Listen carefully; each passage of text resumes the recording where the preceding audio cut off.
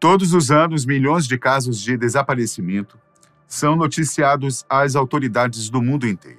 Infelizmente, grande parte deles não é e nunca será esclarecida, pois a alta demanda, as diversas motivações e diferentes circunstâncias criam barreiras que nem sempre podem ser contornadas pelos investigadores. Esses acontecimentos são extremamente preocupantes, pois além do elevado número de casos conhecidos, especialistas indicam que as subnotificações podem fazê-los crescer ainda mais, chegando a índices que são, no mínimo, alarmantes.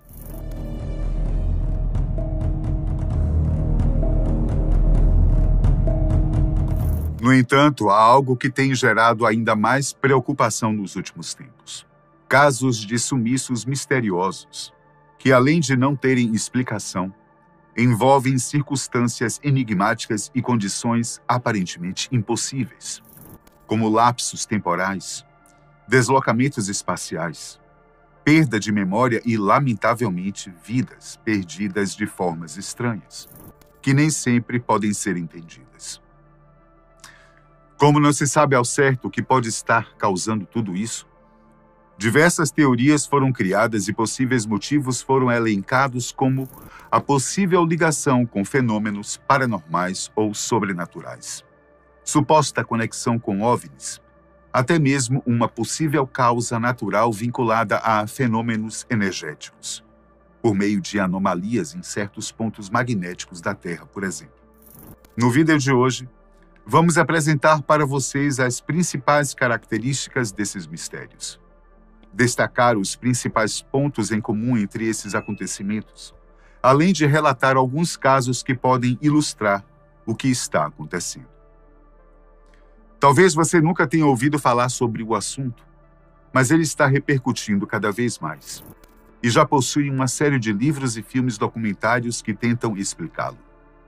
O principal nome vinculado ao fenômeno é o de David Paulides, um ex-detetive da polícia estadunidense que se tornou investigador particular e é responsável pela maior parte das obras publicadas sobre o tema. O autor deu o nome de Missing 411 para estes eventos, que é o termo em inglês para desaparecimento.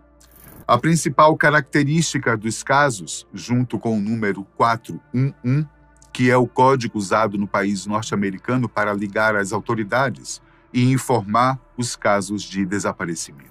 Como dissemos, ele é a principal autoridade sobre o assunto, tendo escrito mais de oito livros e produzido ao menos dois filmes relatando os inúmeros casos e as principais características.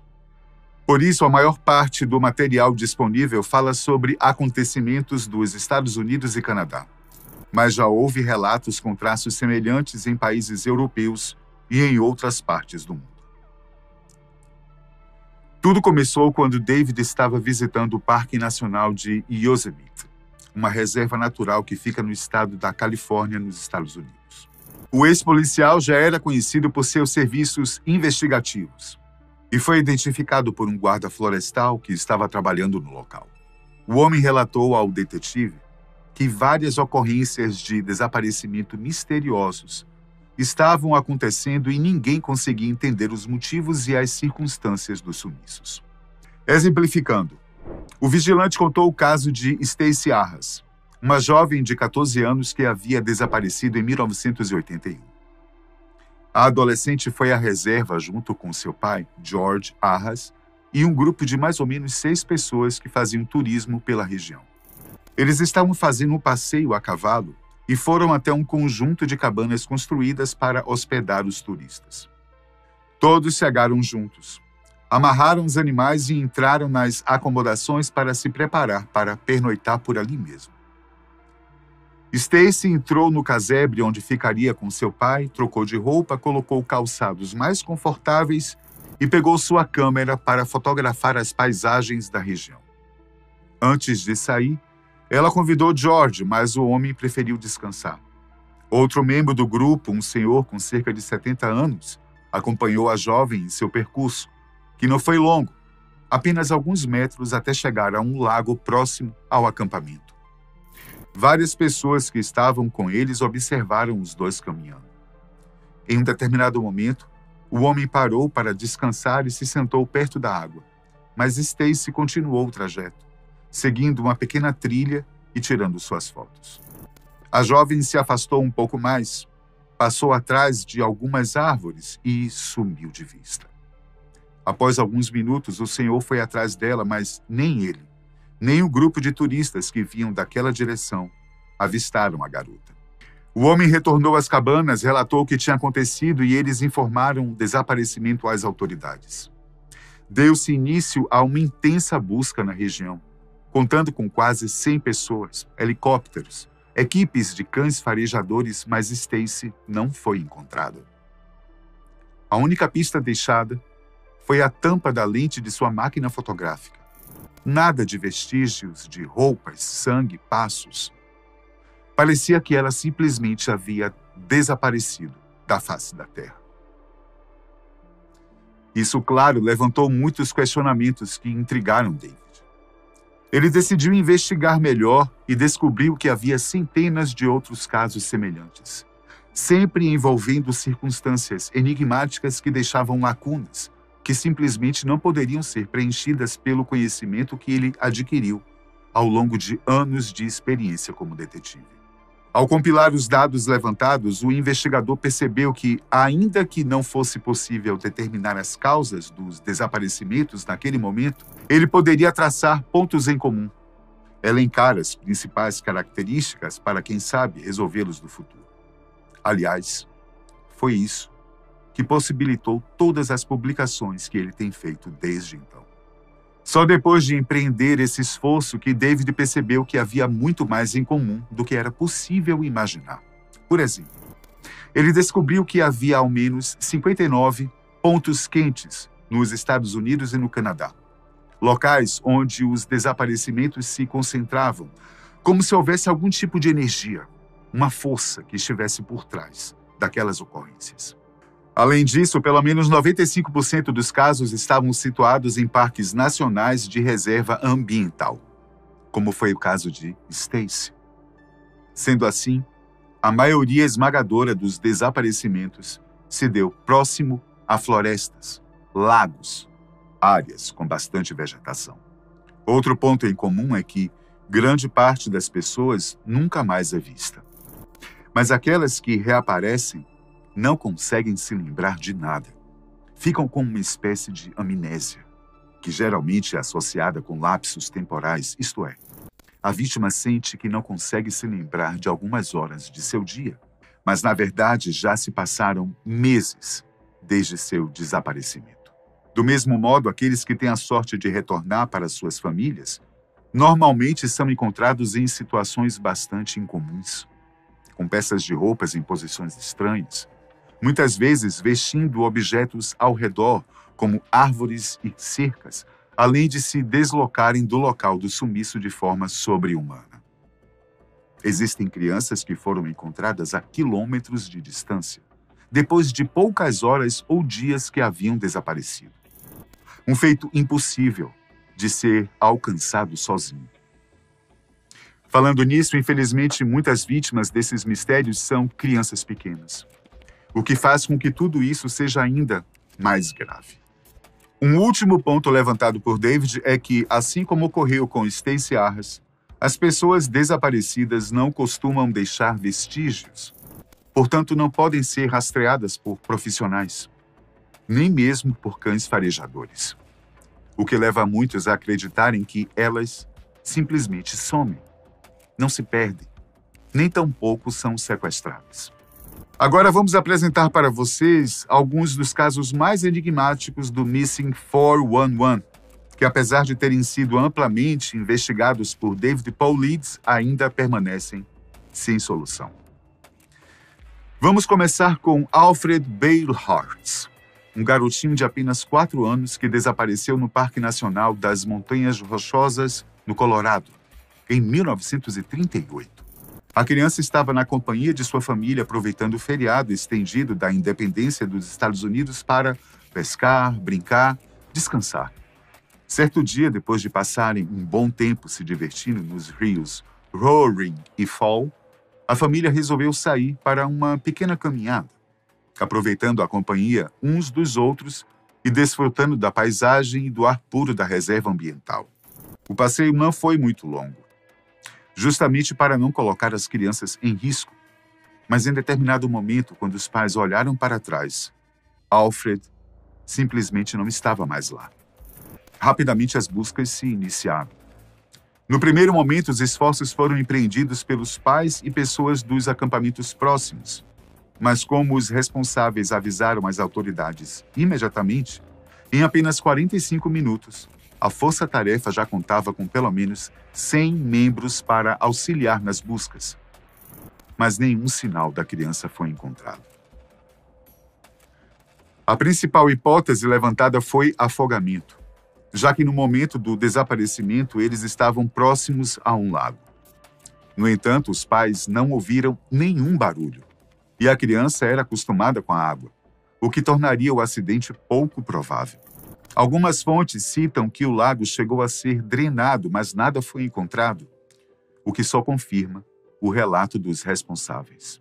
No dia seguinte, um casal disse ter avistado uma criança próxima a um acampamento que ficava a cerca de 10 quilômetros do local onde Alfred havia sido visto pela última vez, em uma área conhecida como Ninho do Diabo.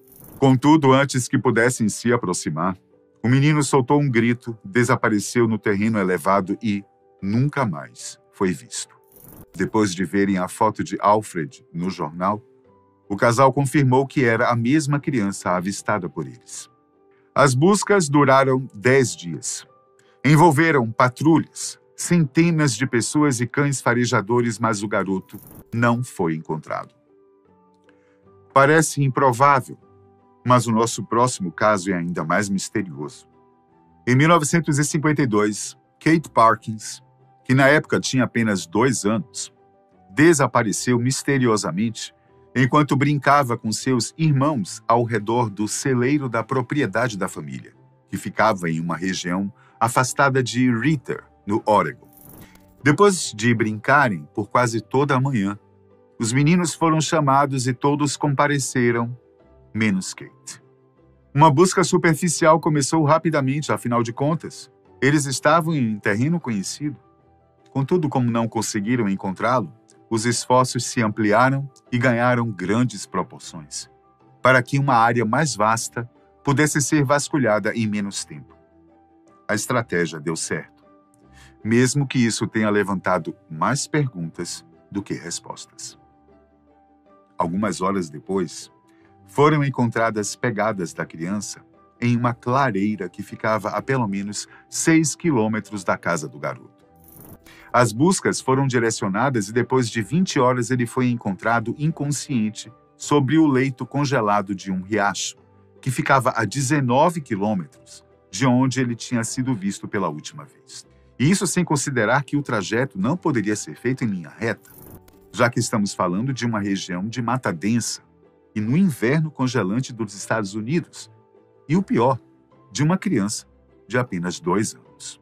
Anos mais tarde, a convite de David Paulitz, o especialista em sobrevivência Les Strud refez o percurso e demonstrou como seria difícil para um homem adulto, com experiência e munido dos equipamentos essenciais. Para uma criança, especialmente nas condições enfrentadas por Kate, isso seria impossível. Não há sinais de sequestro ou de ataque de animais. E o bebê, é claro, não se lembrava de nada. Ao menos ele pôde ser encontrado. E essa história teve um final feliz. Bem diferente de nosso próximo caso. Dennis Martin, de apenas sete anos, desapareceu enquanto acampava com a família no Parque Nacional das Montanhas Enevoadas, divisa entre o estado de Tennessee e Carolina do Norte, nos Estados Unidos. Eles tinham o costume de viajar todos os anos para comemorar o Dia dos Pais enquanto descansavam e faziam atividades coletivas. Durante a estadia, as crianças decidiram pregar uma peça nos adultos, se escondendo ao redor do acampamento para saltar subitamente e assustá-los. Mas a brincadeira que deveria proporcionar alguns gritos e muitas gargalhadas acabou se tornando um pesadelo.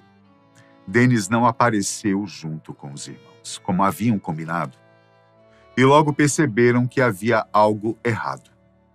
Imediatamente se iniciaram as buscas pelo garoto, mas uma forte tempestade forçou uma pausa e dificultou ainda mais o processo. Mesmo assim, esta se tornaria a maior busca da história do Serviço Nacional de Parques norte-americanos. Todos em prol de levar o pequeno Dennis de volta para casa. As diligências contaram até mesmo com Dwight MacArthur, um renomado guarda florestal, especialista em rastros que já havia conseguido encontrar centenas de pessoas desaparecidas. Mas nem mesmo ele foi páreo para esse enigma. O rastreador disse ter ficado impressionado com a falta de vestígios. Não havia nada para seguir. Era como se a criança simplesmente tivesse desaparecido. Desaparecido do mapa. A única pista levantada foi oferecida por outra família que acampava em um local próximo. Eles disseram ter ouvido um grito e depois avistado uma espécie de homem-urso carregando algo pequeno, que poderia ser uma criança. No entanto, por ser algo fantasioso demais, o indício nunca foi investigado e Dennis nunca foi encontrado. Outro terrível caso investigado por David Paulides foi o desaparecimento do jovem Douglas Led, de apenas oito anos. Ele, juntamente com seus familiares, estava em uma de suas propriedades que ficava na reserva Sant'Anthony, região das montanhas Adirondack. Certo dia, eles resolveram sair para uma caminhada, algo que faziam com frequência. Mas o tio de Douglas notou que havia muitas urtigas na trilha. Por isso, recomendou que o sobrinho voltasse até a casa para vestir calças compridas. Eles estavam a poucos passos da residência. Além disso, o garoto conhecia bem o local e era chamado de mini-homem da floresta, pois estava habituado a explorar a região. Nada disso impediu que Douglas desaparecesse no caminho de volta e nunca mais fosse visto. Mais de 600 pessoas foram envolvidas nas buscas mas nada foi encontrado. Assim como nos outros casos, não havia pegadas ou qualquer outro sinal que pudesse ser seguido. Aliás, nesta ocorrência, os cães farejadores parecem ter rastreado o cheiro do garoto, porém, eles seguiram os sinais por 48 quilômetros e mesmo assim não encontraram nada. Diversas hipóteses foram levantadas para tentar atribuir alguma explicação. Muitos disseram que ele poderia ter sido vítima de ataques de urso comuns na região, mas isso deixaria marcas. Um acidente tão violento não passaria despercebido desta maneira. Depois de certo tempo, os familiares passaram a acusar uns aos outros de sequestro, pois estavam muito abalados com o desaparecimento do ente querido. Só que nada disso pôde ser provado e, infelizmente, Douglas nunca foi encontrado. Nosso próximo caso é mais recente, mas não menos enigmático. Em uma manhã de julho de 2004, o jovem Davi Gonzalez, de apenas 9 anos, pediu as chaves do carro para sua mãe, pois queria pegar uma caixa de biscoitos que estava no carro da família. O veículo estava a 40 metros da residência, no estacionamento do Parque Lago Grande Urso, na Floresta Nacional São Bernardino, na Califórnia. A mãe entregou as chaves para o garoto e ficou observando pela janela enquanto ele fazia o pequeno trajeto atrás das guloseimas. Algo aconteceu e ela precisou desviar a atenção por apenas um instante. Mas quando se voltou, seu filho não estava mais lá. Em seu depoimento, ela diz não ter ouvido nenhum barulho, nenhum sinal que indicasse que a criança havia sido atacada por uma pessoa ou animal. Ele simplesmente desapareceu. Os biscoitos permaneceram no carro, o que indica que o garoto provavelmente nunca chegou até lá. As buscas duraram cerca de nove dias, mas nada foi encontrado. Quase um ano depois, um grupo de pessoas fazia uma trilha na região e encontrou os restos mortais de Davi. Eles estavam a cerca de um quilômetro e meio de onde ele foi visto por último. As análises da perícia não puderam concluir a causa da morte e os ataques de animais que ainda pareciam ser uma causa relevante tiveram que ser descartados, pois não havia sinais de luta e nem relatos de acidente na época. Sem dúvidas, esses casos apresentam histórias terríveis que além de quase sempre terem um desfecho trágico, ainda deixaram as famílias com as dúvidas e os anseios sobre o que realmente teria acontecido com seus entes queridos. No entanto, apesar dos mistérios, nem todos concordam com as investigações e opiniões de David Paulitz. Acontece que antes de se dedicar à apuração destes desaparecimentos, o ex-detetive estava envolvido em pesquisas e buscas que procuravam evidenciar a existência do pé grande, uma lenda comum em muitas culturas, sobretudo na região da América do Norte. Como esse assunto, na maioria das vezes, está envolvido em teorias da conspiração e pseudocientíficas, isso acabou minando a credibilidade do autor. Além disso, especialistas em análise de dados e desaparecimento dizem que, apesar dos casos não terem resolução, é muito provável que eles se encaixem nos principais motivos de sumiço sob essas circunstâncias: quedas de lugares altos, problemas de saúde repentino, afogamento, ataques de animais, exposição ao meio ambiente, enfim, coisas que teriam uma explicação racional e não sobrenatural. Ainda assim, existem aqueles que concordam com David e suas investigações, principalmente pela quantidade de material que ele conseguiu produzir até então. E aí? Qual a sua opinião sobre tudo isso? Eu só espero que, de um jeito ou de outro, algo possa ser feito a respeito logo, independentemente do que esteja causando esses desaparecimentos. Até a próxima. Dentre todos os fenômenos que intrigam os cientistas, Existe um que lhes tira o sono há bastante tempo: as bolsas dos deuses. Hum. Trata-se de representações de bolsas que geralmente são seguradas por figuras divinas e estão espalhadas pelo mundo todo. Recentemente, nós abordamos essa temática em um vídeo aqui mesmo da Fatos, quando falamos da civilização Olmeca. Mas hoje, vamos nos debruçar neste ponto para entender melhor esse mistério.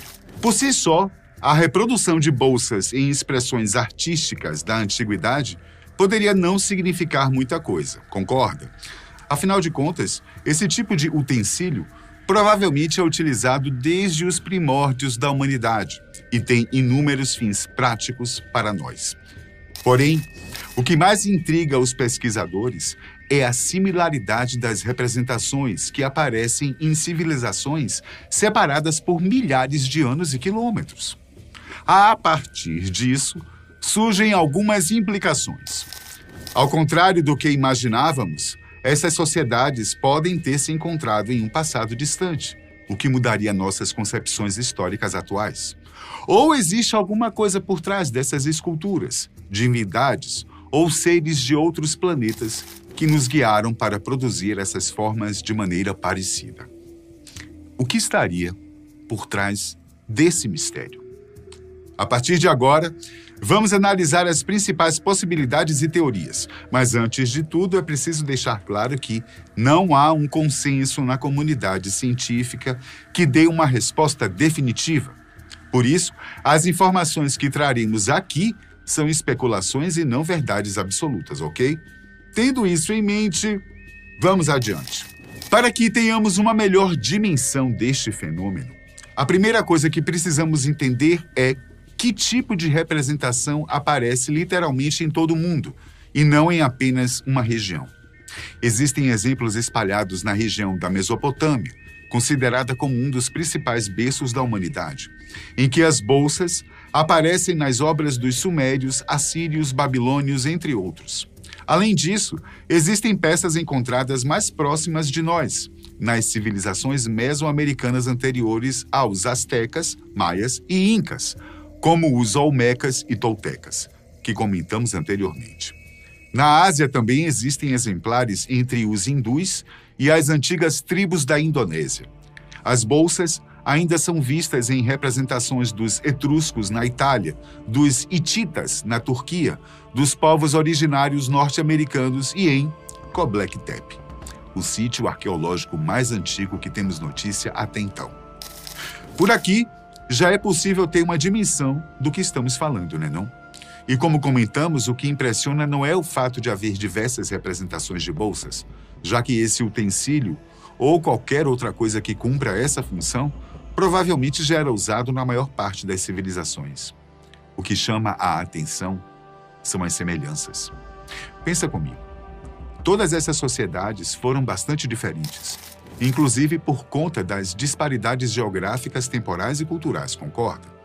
A maior parte de seus acessórios, como roupas, armas e ferramentas, as suas construções, hábitos alimentares, línguas e crenças, tudo era diferente. Então, por que apenas as bolsas seriam iguais? E mais, porque além do formato, a cena da qual o objeto está inserido é quase sempre a mesma.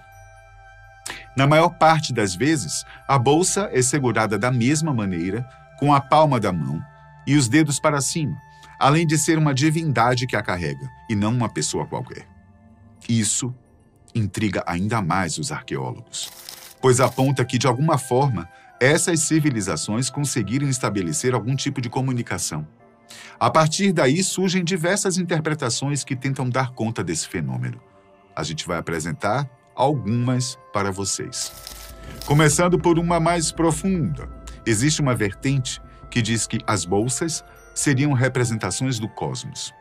A alça, com seu desenho de semicírculo, retrataria o céu e o corpo do objeto seria a Terra. Assim, a junção entre as formas seria uma espécie de unificação entre os elementos materiais e os metafísicos, uma conexão do divino com o terreno. No entanto, apesar de oferecer várias dicas a respeito da relação entre as bolsas e as divindades, essa explicação deixa muitas lacunas. É certo que todas as civilizações tinham alguma crença espiritual. Contudo, qualquer estudo antropológico poderia demonstrar as diferenças culturais nessas representações. Por isso, seria pouco provável que a mesma simbologia estivesse presente em tantas sociedades distintas. Outra possível explicação se apega ao design dos objetos. Segundo essa linha de raciocínio, as bolsas são parecidas com os exemplos que encontramos atualmente. Então, talvez elas não sejam tão antigas quanto pensamos. Apenas foram deslocadas no tempo. Parece estranho, não é? Mas é isso mesmo.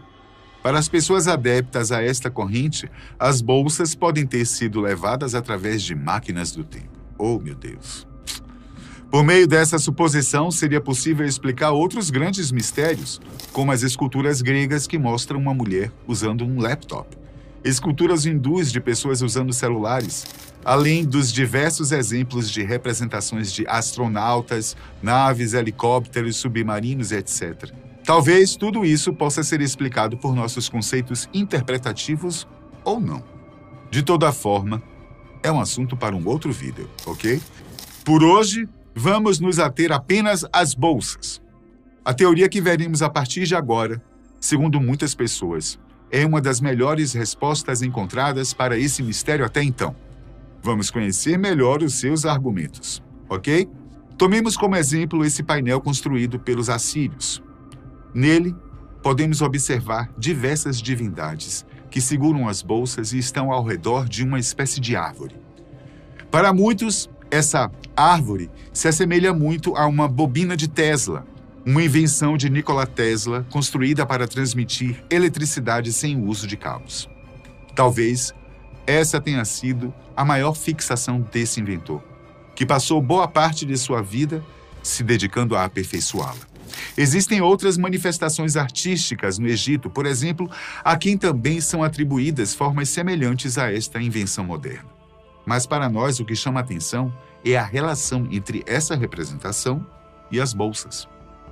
Parece que elas estão implicadas de alguma forma, como se fizessem parte de algum conjunto, como se as bolsas fossem, talvez, baterias ou algo do tipo. Nesse sentido, olhemos para outra escultura encontrada próxima a nós na América Central, que representa uma divindade bastante importante para os povos mesoaméricos, o Quetzalcoatl. Esse ser está presente em basicamente todas as narrativas dos diferentes povos que viveram por lá e tem um papel central na cosmologia dessas antigas civilizações. Trata-se de uma serpente com plumas, que seria um dos principais responsáveis pela criação da humanidade. Segundo as tradições, ele teria até mesmo lutado com outras divindades para isso. E não é à toa que sua figura apareça em grande parte de tudo que foi produzido por esses povos, sendo que até monumentos, como templos, foram erguidos em seu nome. Mas nessa representação que trouxemos aqui há algo diferente. Parece que o homem está em uma espécie de máquina que tem uma forma de Quetzalcoatl. E como não poderia ser diferente, ele está segurando a bolsa, da mesma forma que vimos nos exemplos anteriores, com a palma da mão e os dedos para cima. Se na escultura assíria o objeto estava próximo a algo que seria uma fonte de energia, aqui é ele que parece sustentar a máquina ou nave na qual está inserido. E isso se repete em uma peça produzida em Veracruz, no México, mais ou menos na mesma época. Aqui podemos observar um ser que se parece a um astronauta segurando a bolsa, que nos padrões atuais seria um sistema para carregar suprimentos vitais. Todos esses aparecimentos têm em comum a semelhança com algum tipo de tecnologia, uma inovação que não condiz com a época em que as representações foram feitas e a presença de seres divinos, como comentamos no início do vídeo. Se juntarmos essas informações, vamos perceber que elas se replicam em vários casos, principalmente a existência das divindades próximas às bolsas. Nos achados da Mesoamérica, isso ficou claro com as representações de Quetzalcoatl. Além da importância conferida à divindade, os povos dessa região ainda lhe atribuíam todo o conhecimento que tinham acerca da agricultura, engenharia, religião, leis e tudo aquilo que, mesmo vistos de hoje, ainda parece muito avançados para nossos parâmetros. Vemos isso também com os assírios. A árvore que dizemos se assemelhar a uma bobina de energia é considerada por muitos estudiosos como uma representação da árvore da vida, um símbolo que conectaria o divino com o mundano. Uma espécie de portal que facilitaria a comunicação entre esses mundos. Um sinônimo para diversas formas de conhecimento. Mas os exemplos não param por aí, não. Em um templo hindu na Índia, vemos novamente a bolsa aparecer próximo a outra divindade, Shiva. Para esse povo, a deusa tem um papel fundamental na criação do mundo e da humanidade, como é o caso de outras civilizações que vimos por aqui. Além de ser responsável por entregar aos humanos os conhecimentos necessários para conquistar e se desenvolver na Terra.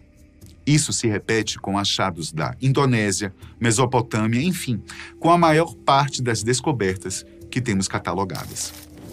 Foi a partir disso que o escritor e ex-jornalista britânico Graham Hancock começou a traçar um paralelo. Além de todas as semelhanças que apontamos até agora, as bolsas dos deuses parecem estar sempre ligadas a figuras associadas ao conhecimento, iluminação e, consequentemente, aos fundamentos da civilização da qual elas pertencem. Segundo o autor, essa não seria apenas uma coincidência, mas algo que poderia mudar todas as concepções que construímos até o momento. Para entender melhor essas implicações, vamos voltar novamente para as representações dos assírios. Existem alguns exemplos em que a bolsa aparece sendo segurada por uma das principais divindades dos povos mesopotâmicos, o deus peixe Oanes. Essa figura desempenha um papel semelhante ao que vimos até aqui, ou seja, está no centro da criação e divulgação do conhecimento para aquela civilização. Segundo o mito, Oanes seria um líder de um grupo conhecido como os Sete Sábios. E nas representações desses outros seres, também podemos vê-los carregando as bolsas misteriosas. Fazendo suas investigações, Hancock se deparou com um escrito de um sacerdote babilônico do século III a.C. chamado Berosso. Nela, foi possível observar que todos os conhecimentos que aquela sociedade possuía foram atribuídos aos sábios. Tudo aquilo que poderia suavizar os costumes e humanizar a humanidade. A partir disso, o escritor chegou à conclusão de que as bolsas seriam um tipo de marcador, algo que indicaria de quem estivesse em sua posse seria, de alguma forma, o detentor do conhecimento. Isso já seria um feito incrível levando em conta a dimensão de um achado desse tipo, Mas outros elementos contribuíram ainda mais para essa teoria. Você se lembra que comentamos que entre os achados mais antigos das bolsas estavam aqueles que se encontravam em Göbekli Tepe, no sítio arqueológico que está onde hoje é a Turquia? Existem datações de carbono que apontam que diversos artefatos encontrados ali têm pelo menos 12 mil anos. Foi nesse período que a humanidade deu um salto repentino em sua evolução, deixando de ser apenas catadores nômades a indivíduos que controlam totalmente o seu meio. Até esse momento, os humanos modernos haviam feito apenas progressos lentos e graduais, inclusive disputando com outros seres humanoides que eventualmente deixaram de existir. Mas de repente, nós inventamos a agricultura. Dominamos o fogo, a metalurgia, a escrita, comércio, matemática, astronomia, geometria, convenhamos, né? Foi um belo salto. E entre os principais achados de Göbekli Tepe está o famigerado Pilar 43, uma escultura que contém, entre outras coisas, as bolsas dos deuses. Se juntarmos tudo isso que falamos até agora, já dá para entender onde tudo isso irá nos levar. Essa foi justamente a conclusão de Graham Hancock. Se tudo isso for verdade, significa que há mais de 12 mil anos existiu uma sociedade extremamente avançada que foi responsável por nos ensinar tudo o que sabemos hoje em dia. Talvez só a possibilidade de algo desse tipo já levantaria mais questionamentos do que respostas. Concordam? Por exemplo, quem seria essa civilização? Para onde ela teria ido? O ex-jornalista também tentou respondê-la de alguma forma. Para isso, ele se voltou novamente para os mitos fundadores das sociedades daquela época, especialmente para uma epopeia produzida pelos povos mesopotâmicos. Nela há uma passagem que narra algo bastante conhecido por nós. Dizem que os deuses, especialmente o deus Enlil, decidem exterminar os humanos devido ao barulho incessante que estavam fazendo. No entanto, o deus Ea alerta Utnapishtim sobre os planos divinos e aconselha-o a construir uma embarcação para salvar a si mesmo, sua família e diversos animais. Utnapishtim segue as instruções, constrói a embarcação e, quando o dilúvio chega, ele e os seus são salvos. Notaram? Hum? Alguma semelhança? É claro, né, gente?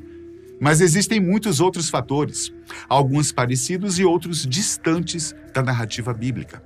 Mas para nós existe um elemento essencial que não está nesse resumo. Antes do dilúvio, os deuses pedem para que os homens enterrem algumas tábuas que contêm os conhecimentos cedidos por eles. Depois que a normalidade se restabelece, elas são desenterradas e seu conteúdo é difundido nas mais diversas regiões, provavelmente pelos sábios, que são representados com as bolsas nas esculturas antigas. Além disso, as informações contidas no Pilar 43, encontrado em Göbekli Tepe, forneceriam mais uma pista em relação a essa suposta civilização antiga. Alguns teóricos afirmam que ela descreve um evento catastrófico que teria ocorrido há mais de 10 mil anos atrás. Um episódio que teria ceifado a vida de milhões de pessoas e mudado para sempre o destino da humanidade. Para chegar a essa data, esses pesquisadores usaram as pistas deixadas através das constelações que estariam presentes no céu daquele determinado momento. E a partir disso, eles vasculharam o histórico de acontecimentos geológicos importantes e associaram esse fato a um importante período conhecido como Dryas recente, um evento climático abrupto que teria resfriado boa parte do planeta e alterado o curso de muitas formas de vida, inclusive a humana. Hoje em dia, esse evento é explicado por conta de alguns desequilíbrios que ocorreram com a vazão de água doce e salgada em diversos pontos do mundo. Como a densidade da água é alterada, dependendo dos elementos que são encontrados nela, isso também influencia em seu ponto de fusão, o que teria impactado na formação das geleiras. Mas, para os efeitos desse vídeo, isso poderia representar um grande episódio de extinção, tal qual foram os dilúvios, por exemplo que estão presentes em diversos mitos e culturas ao redor do mundo. Segundo essas teorias, eventos como esse estariam por trás do desaparecimento dessas antigas civilizações, que deram lugar às sociedades contemporâneas que foram guiadas pelos sábios portadores das bolsas misteriosas. Mas isso não explica de onde veio essa antiga civilização. Será que ela teve origem em outros planetas? Seriam de fato deuses metafísicos? Essas perguntas ainda carecem de explicação e ainda comprometem a credibilidade dessas hipóteses. Mas, para você, hum? diz para mim, o que explicaria a existência das bolsas dos deuses? Certamente esse mistério ainda irá povoar nosso imaginário, ah, por um bom tempo. Eu fico por aqui até a próxima. A história da humanidade é repleta de mistérios que desafiam nossa compreensão e nos deixam intrigados com o desconhecido. Apesar dos avanços científicos e tecnológicos, alguns enigmas permanecem sem solução, incitando nossa imaginação e estimulando a busca por respostas. Hoje, vamos conhecer quatro evidências históricas que mexem com o nosso credo e sistema de crenças das sociedades contemporâneas atuais. Número 1. Um, Lovelock, Nevada. Por volta de 1911, dois mineiros, chamados James Hart e David Pugh, partiram para minerar em uma região de cavernas no deserto de Nevada. Eles não eram necessariamente caçadores de ossos, como os, os arqueólogos eram chamados naquela época, mas sim escavadores de gano, da Hawaiian Fertilizer Company de São Francisco. O gano, ou simplesmente excrementos de morcego, sempre foi usado como fertilizante e no início do século XX também era usado para produzir pólvora e explosivos, devido à alta concentração de nitrato neste material orgânico. Dessa forma, os dois mineradores, trabalhando com pá e picareta em uma das cavernas do deserto, se depararam com algo inesperado. Alguns achados pré-históricos e ossos de proporção gigante, que posteriormente foram pesquisados pelo professor Alfred Kruber, fundador do Departamento de Antropologia da Universidade da Califórnia. Esta descoberta, inesperada, deu origem à primeira expedição arqueológica à caverna Lovelock em 1912, seguida de uma segunda expedição em 1924. Na década de 20, aproximadamente 10 mil espécimes arqueológicas foram descobertos na caverna de Lovelock, incluindo ferramentas, ossos, cestas e armas. De acordo com o um relatório, 60 múmias de estatura média foram desenterradas, além de um importante artefato indicado como isca de pato, isso mesmo, relíquias das mais antigas e únicas do mundo com penas ainda presas.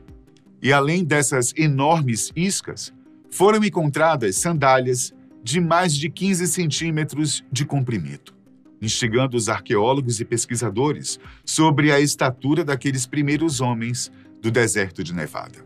Além do artefato, uma pedra em forma de rosquinha com 365 entalhes esculpidos ao longo do lado de fora e 52 entalhes correspondentes no interior foi escavada evidenciando a possibilidade deste objeto funcionar como um calendário desses seres ancestrais.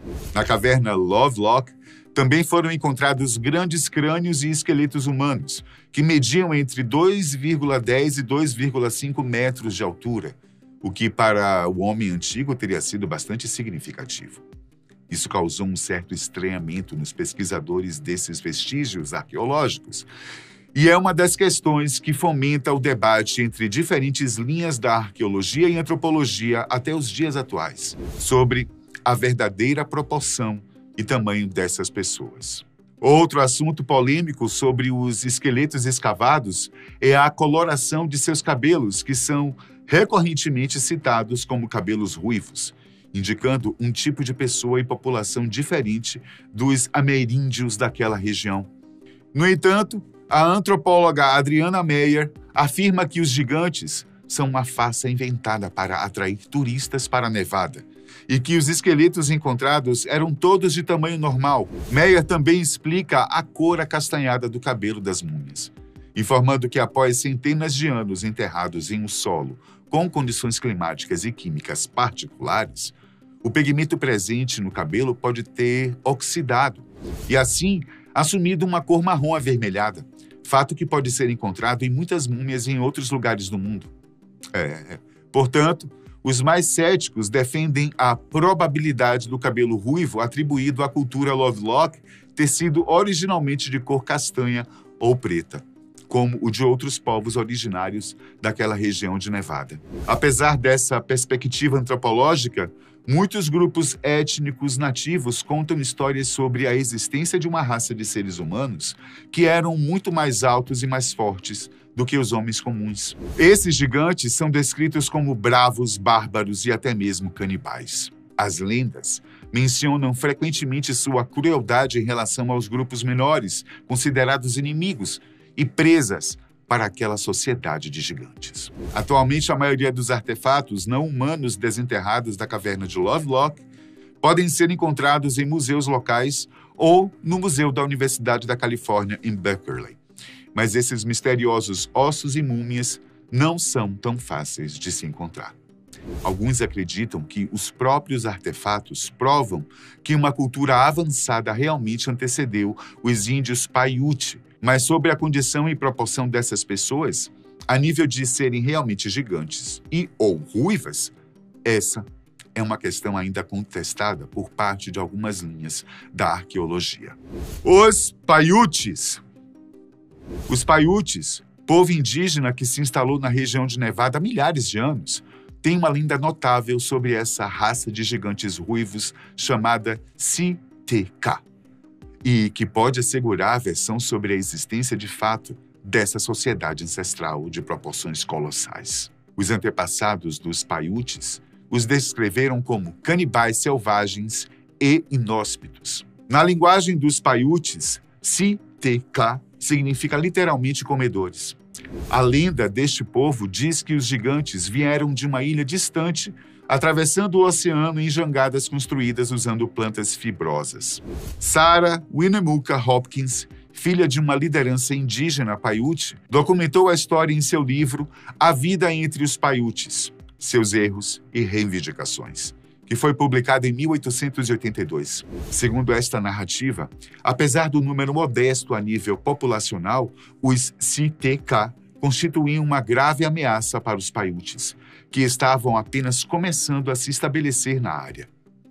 Em seu livro, Sarah Winnemucca explica que depois que seu povo exterminou todos os CTK, as outras tribos ao redor começaram a chamar os Paiute de Saidokara, que significa conquistador, e também um termo usado para o inimigo. O povo Paiute, segundo os relatos da escritora indígena, sempre relatou a existência de uma tribo de cabelos ruivos, em proporção colossal, que foi exterminada pelos seus ancestrais em uma emboscada na caverna, conhecida atualmente como Lovelock. Sarah informou em seu livro que detinha um pouco desse cabelo ruivo, como uma herança que foi passada de geração em geração entre sua família, e relatou inclusive que possuía um vestido tecido com fios daquele cabelo ruivo considerado um vestido de luto, e artefato apenas do seu clã familiar.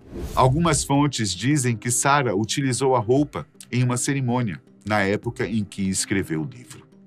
Uma outra evidência que permanece no local da caverna até hoje é uma cópia gigante de uma mão embutida em uma rocha dentro da caverna Lovelock.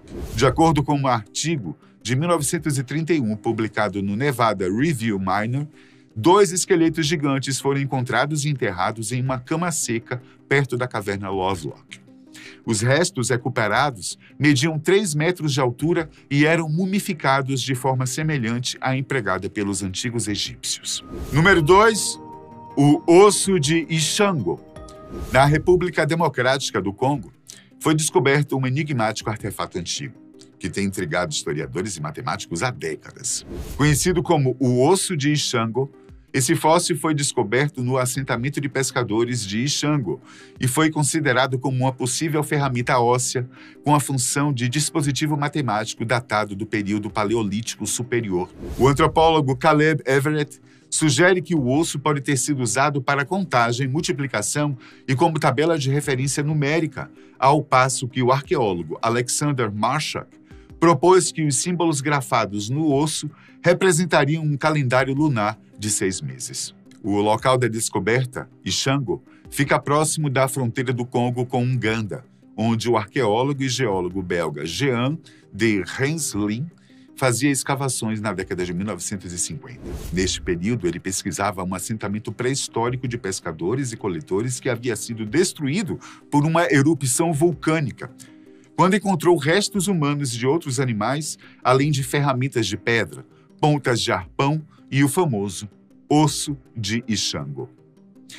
Toda a superfície do osso é coberta por 168 traços entalhados finos, reunidos em 16 grupos e dispostos em três colunas. A coluna central possui uma sequência de 3, 6, 4, 8, 10, 5, 5 e 7 traços, totalizando 48. A coluna esquerda possui uma sequência de 11, 13, 17 e 19 traços, totalizando 60 traços.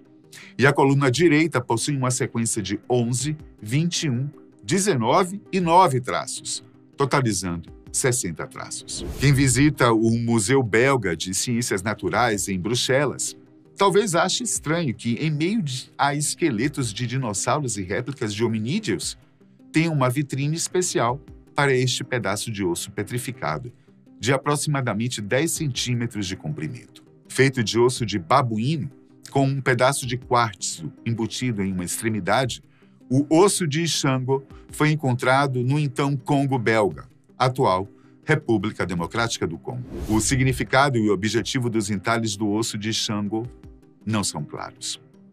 A hipótese mais difundida é que o osso foi usado como uma espécie de régua de cálculo para uma contagem primitiva. A coluna central parece seguir um padrão matemático. Começa com três traços e depois seu duplo, seis. Seguem quatro traços e seu duplo, oito. Seguem dez traços e suas duas metades, cinco e cinco. Não se trata, portanto, de uma simples decoração ou traços arbitrários mas de um indício de cálculos de multiplicação e divisão por dois. O osso de Shango surpreendeu o mundo científico que não presumia a existência do conceito abstrato de número antes do Neolítico. Ele sugere que os primórdios da contagem e de uma lógica matemática estariam entre os caçadores-coletores paleolíticos da África, milhares de anos antes da sedentarização neolítica e das civilizações da Mesopotâmia e do Egito. Jefferson Santos, pesquisador e etnomatemático em matemática africana, lembra que a contagem sugerida do osso de Xango pode ter influenciado os sistemas de numeração 10, 12 e 60 em civilizações do Oriente Médio e do Egito. O objeto famoso ressalta a precocidade do gênio matemático e científico africano e, acima de tudo, permite estabelecer que serviu a toda a humanidade ao guiar o primeiro Homo sapiens sapiens em âmbito matemático. O artefato pôde contribuir na criação de grande civilização de Kama, com o berço dos enigmas e os pigmeus da África Negra, que se originou no Vale do Omo, o berço Atlante de Núbia e o berço dos mistérios egípcio-núbios do Vale do Nilo, ao qual é razoável adicionar o berço negro fenício da Mesopotâmia. Número 3, a Pedra Negra de Meca. A Kaaba é considerada pelos muçulmanos como a casa de Deus. E é o local para onde os muçulmanos de todo o mundo se voltam durante as orações diárias. A peregrinação anual a Meca, conhecida como Hajj, é um dos cinco pilares do Islã e é obrigatória para todos os muçulmanos que têm a capacidade física e financeira de realizá-la. A origem da Kaaba é cercada por mistérios e lendas e é difícil determinar com precisão quando foi construída pela primeira vez. A tradição islâmica afirma que a Kaaba foi originalmente construída por Abrão e seu filho Ismael como um local de adoração monoteísta. Ao longo dos séculos, a estrutura passou por várias reconstruções e modificações. A história e os rituais associados à Kaaba desempenham um papel significativo na fé islâmica, simbolizando a unidade dos muçulmanos e sua submissão a Deus.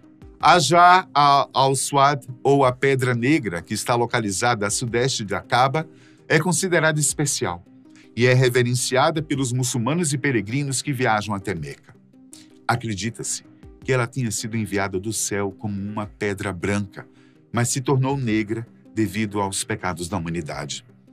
Durante o Hajj, os peregrinos tentam beijar ou tocar a pedra negra como parte do ritual de circunvalação da Kaaba. Quando o peregrino termina de dar as voltas no Hajj, eles devem parar diante da pedra e beijá-la ou, no mínimo, saudá-la caso não consigam chegar perto dela, dizendo Bismillah, Allahu Akbar. Diante da pedra negra, o peregrino testemunha a unicidade de Deus, um dos preceitos mais importantes do Islã. Há também narrativas de que a pedra foi trazida com a expulsão de Adão do paraíso e colocada onde está, e que ficou negra devido aos pecados dos seres humanos. A pedra não é adorada pelos muçulmanos, mas é uma relíquia sagrada, que lembra uma aliança da humanidade simbolizada em uma pedra trazida do céu e que, segundo a tradição, remonta aos tempos de Adão e Eva e estabelece um pacto de lembrança do Criador e do outro mundo de onde a pedra veio. Para os milhões, se não bilhões de muçulmanos que fizeram sua peregrinação à Cabala, não há dúvida de que a pedra negra tenha um poder inexorável, que parece atraí-los para sua órbita. Porém, de acordo com alguns especialistas, isso se dá porque a pedra negra não é deste mundo. Se pensarmos em termos científicos, a pedra negra poderia ser um meteorito que, ao cair na Terra, foi testemunhado pela visão dos ancestrais que viveram entre Maomé. Segundo a tradição islamita, Kaaba é o único local da Terra tocado pelas forças celestes. Maomé, fundador da religião islâmica, também nasceu e foi enterrado em Meca, situada na Arábia Saudita. A cidade, desde seus primórdios, já era um importante ponto de parada de caravanas e centro comercial, até mesmo antes do nascimento do profeta Maomé. No entanto, os maometanos, também chamados de muçulmanos, hoje cerca de 1,2 bilhão de pessoas espalhadas pelo mundo, converteram-na em sua capital. Sabe-se que a Pedra Negra, assim como a própria Caaba, consiste em um símbolo e templo sagrado, desde os tempos pré-islâmicos. De acordo com Helmi Nars, professor em línguas orientais da USP, pelos preceitos da religião, todo fiel tem um dever de visitar a cidade ao menos uma vez antes de morrer. E além disso, onde quer que esteja, tem que rezar cinco vezes por dia, voltado para a Meca e a Pedra Negra. Acredita-se que tenha sido próprio Maomé quem a colocou em seu local atual, onde permanece desde o início do século VII. Número 4 répteis voadores nos Estados Unidos. Para quem gosta de assuntos sobrenaturais ou misteriosos, a chamada criptozoologia, que é o estudo de animais lendários, mitológicos ou hipotéticos, costuma ser recheada de histórias interessantes. Uhum. Os répteis voadores, conhecidos como pterossauros, teriam vivido durante o período Mesozoico, entre 251 milhões e 65,5 milhões de anos atrás, antes do surgimento dos dinossauros. Fósseis desses animais já foram encontrados até no Brasil, é, na região de Araripe, lá no Ceará. Porém, fotografias de alguns homens segurando uma espécie muito similar ao réptil voador trouxeram evidências de que, no Velho Oeste dos Estados Unidos, possa ter aparecido uma ave colossal sobre a cabeça dos homens, que posteriormente abateram e registraram o animal. O escritor e criptozoologista americano Jonathan Whitcomb analisou uma dessas imagens, que se trata de uma foto supostamente tirada em 1864 durante a Guerra Civil Americana, próxima à cidade de Vicksburg, e que mostra seis soldados que pousaram ao lado de um pterossauro abatido. O pesquisador chegou à conclusão de que a fotografia teria 30% de chance de ser real. Ele é o mais famoso estudioso de supostos pterossauros modernos e acredita que, apesar de céticos dizerem que se trata de uma fotografia manipulada por computador, é possível que a imagem seja autêntica. Antes que as aves e os mamíferos ganhassem os céus, havia os pioneiros vertebrados do ar, os pterossauros. Essas estranhas e fascinantes criaturas aladas estão tão associadas ao reinado dos dinossauros que muitos pensam que elas também pertencem ao mesmo grupo. Mas, na verdade, os pterossauros evoluíram paralelamente. O pterodáctilo foi o primeiro do grupo a ser descrito e identificado como um réptil voador, o que o tornou muito famoso apesar de seu tamanho relativamente modesto. Ele tinha uma cauda curta e um pescoço comprido, o que fez dele uma criatura voadora muito competente. De acordo com Márcio do Nascimento Santana, historiador com formação em arqueologia, a região árida do deserto do Arizona, com suas imponentes montanhas, oferecem grandes planícies, água e alimento, formando um habitat perfeito para o pterodátilo sobreviver e prosperar. A existência desse animal magnífico é facilmente percebida nas pinturas rupestres das tribos indígenas feitas nas rochas e nas histórias que ecoam através do tempo ao seu respeito. Muitos criptologistas acreditam que se realmente esse réptil voador existiu no Velho Oeste, a família deste animal poderia ter definitivamente sido extinta em meados da década de 1930, quando a colonização e a industrialização daquela área se tornaram mais acirradas. Mas a pergunta que fica é: e a foto? Muitos afirmam que ela realmente existiu e que apenas meras cópias conseguiram sobreviver ao tempo e à história. E aí? O que é que vocês acharam dessas histórias, dessas criaturas incríveis? Comenta aí pra gente. Existiram mesmo? Ou é tudo ficção?